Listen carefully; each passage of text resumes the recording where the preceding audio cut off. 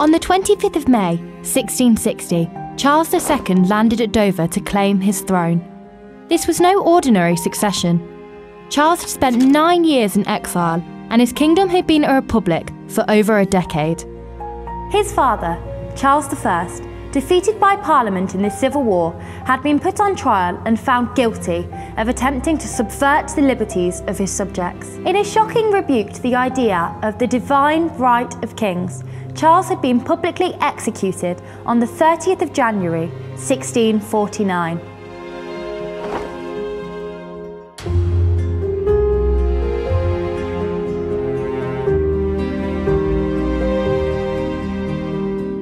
While the Convention Parliament had voted unanimously to restore the monarchy and its constitutional powers, declaring Charles II to have been king since the date of his father's execution, unpredictability hung in the air of Restoration Britain. As Dr. Claire Jackson explains, no other monarch was so acutely aware of the extent to which his survival depended on his subjects' goodwill. This would have been a challenge in the best of times, but the 1660s had seen the return of the plague, the Great Fire of London, and war with the Dutch.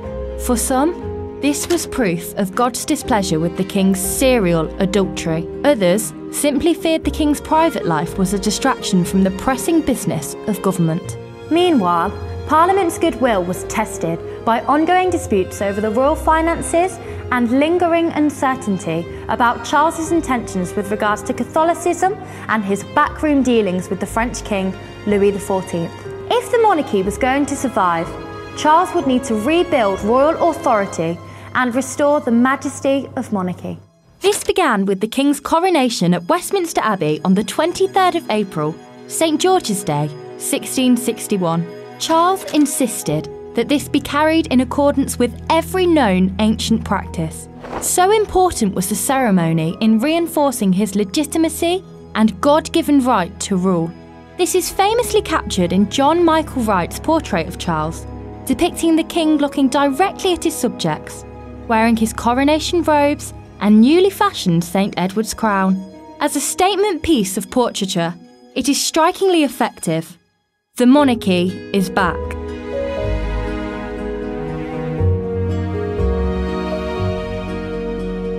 Spectacle was not just for high state occasions like the coronation, though.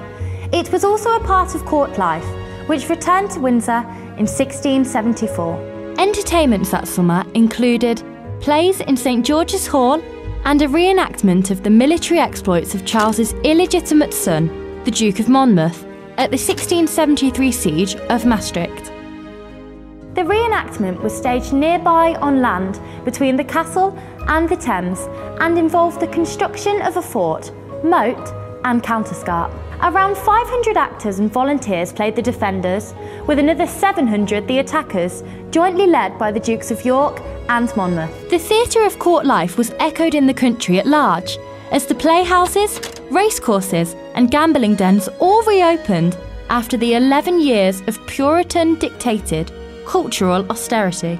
Like the coronation, another spectacle that sought to assert the divinity of kingship was the healing of the king's evil. This was a practice stretching back to Edward the Confessor, in which it was believed the king's touch could cure sufferers of a painful and disfiguring disease now known as scrofula. In the 25 years between the Restoration and his death, Charles was believed to have touched around 100,000 individuals, many here in the chapel at Windsor.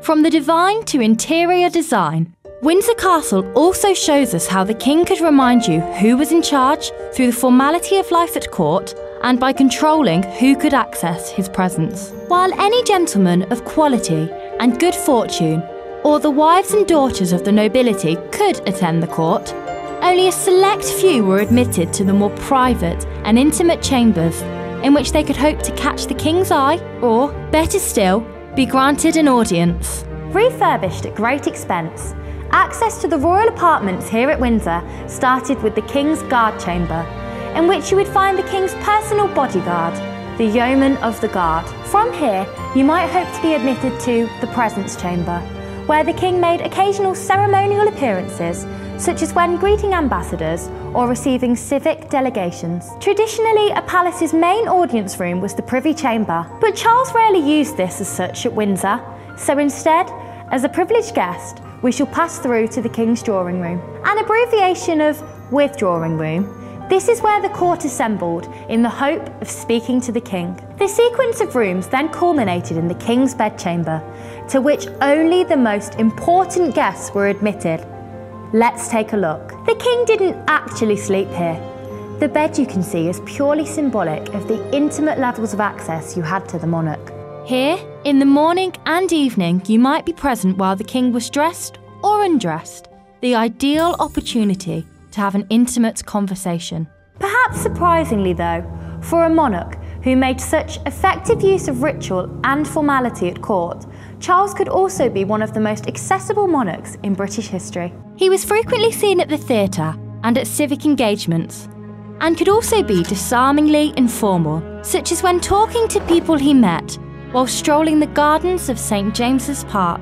All the royal apartments at Windsor were lavishly decorated at great expense, with oak panelling, colourful tapestries, and gilded plaster ceilings painted by the celebrated Italian born artist Verrio.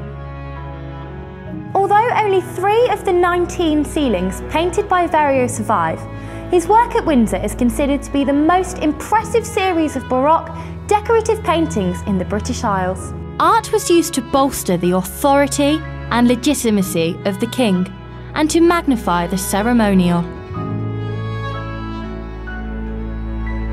First, though, Charles had to re establish the Royal Collection of Art, which had been broken up and sold off after the Civil War to fund the Navy and settle government debts.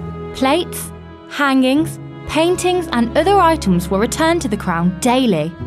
17 cartloads of goods were retrieved from Cromwell's widow alone. Many owners returned paintings voluntarily, some claiming that they had simply been looking after them on behalf of the king. Other items were forcibly repatriated in compliance with a series of proclamations and other legal measures. Some items, though, especially those snapped up by princely collectors, were lost forever and can now be found gracing the walls of some of the most famous museums and galleries across Europe. By reforming his father's collection of art, Charles was creating a physical sense of continuity with the court of his father. Patronage of the arts was also a means, of course, of demonstrating cultural refinement and artistic taste. Equally important, though, was the flood of popular artworks and commemorative goods bearing the king's image. From dishes and wine bottles to jewellery and prints, the king's image was everywhere to be found. Charles also had St George's Hall refashioned as a colossal throne room, complete with a dais and a throne that resembled a coronation chair. Rather than being used as a banqueting hall, Charles envisaged this as a symbolic space that would be used only at the greatest state occasions, designed to assert the majesty of kingship. The hall also honoured the refounded Most Noble Order of the Garter. While Charles had always taken the order very seriously, he also used it to encourage loyalty or to demonstrate political favour among courtiers and foreign dignitaries. The symbolic power of the order can also be seen in the Star Building, now so altered as to be hardly recognisable. Originally, this had a 12 foot high gilt Order of the Garter Star on its exterior, designed to create a shimmering golden reflection in the Thames. Windsor was not alone in being remodelled and refurbished. Shortly after the restoration, the King's Office of Works was re established and plans drawn up to restore and redesign a host of royal palaces, including the reconstruction of Whitehall and the development of Greenwich Palace. In 1669, Christopher Wren was appointed as Surveyor of the King's Works.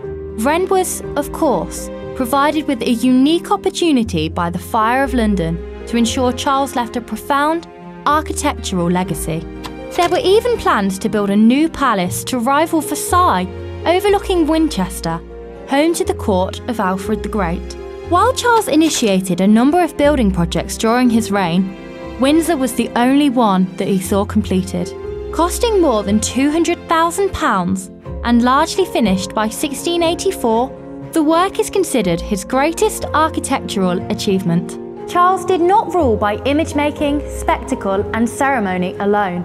He was also a shrewd politician. During the exclusion crisis, when the Whigs sought to exclude Charles's brother, the Catholic James, Duke of York, from the line of succession, the king was able to skillfully play on the public's fears of a return to the chaos of the Civil War. Together with his Tory supporters, he painted the Whigs as dangerous, would be Republican rebels. After dismissing the English Parliament for the last time at Oxford in March 1681, Charles then successfully had the Scottish Parliament denounce the actions of its English counterpart, declaring that the succession was to be determined solely by the proximity of blood, not parliamentary statute. Victory in the exclusion crisis and the foiling of the Rye House plot to assassinate the king and his brother unleashed a torrent of popular Toryism that lasted for the remainder of Charles's reign. Combined with buoyant royal finances, Charles was now in a position to be bolder and firmer.